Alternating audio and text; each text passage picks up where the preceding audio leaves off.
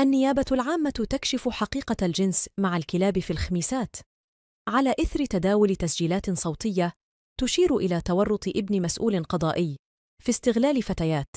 في حفلات جنس جماعي في الخميسات تتضمن ممارسات شاذة مع الكلاب.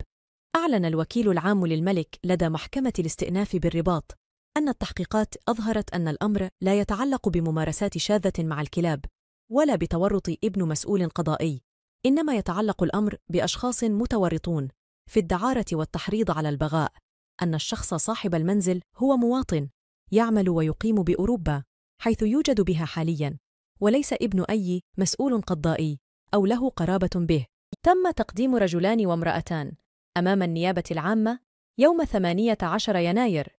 المرأتان قامتا بنشر وبث المقاطع الصوتية استناداً لما يروج داخل بعض الأوساط في المدينة حسب زعمهما وقد شاركتا هذه المقاطع الصوتية مع سيدات أخريات وأن كل واحدة منهن كانت تعيد نشرها وفق طريقتها الخاصة عبر اختلاق معطيات إضافية وأن إحداهن ممن تقاسمتا معهن المقاطع الصوتية هي من أضافت واقعة ممارسة الجنس مع الكلاب وأنهما روجتا عبر هذه المقاطع وقوع جرائم خيالية تتمثل في ممارسات جنسية شاذة مع حيوان دون الإفصاح عن أدلة إثبات بشأن ذلك. اعتبرت النيابة العامة أن نشر صور بعض النسوة مقرونة بالمقاطع الصوتية يشتبه في كونه نتيجة وجود خلافات فيما بين المعنيتين بالأمر المذكورتين وبين صاحبات تلك الصور أن أحد الرجلين اللذين تم تقديمهما تربطه بصاحب المنزل علاقة صداقة فيما الآخر صاحب سيارة أجرة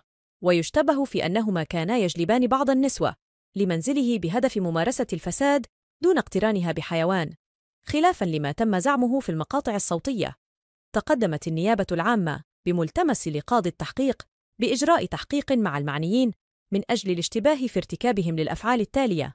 أولاً بالنسبة للمرأتين تبليغ السلطات العامة عن جريمة رغم العلم بعدم حدوثها وتقديم أدلة زائفة متعلقة بجريمة خيالية وتوزيع ادعاءات ووقائع كاذبة وصور أشخاص دون موافقتهم بقصد المس بحياتهم الشخصية والتشهير وبالنسبة للرجلين جلب أشخاص للدعارة والتحريض على البغاء.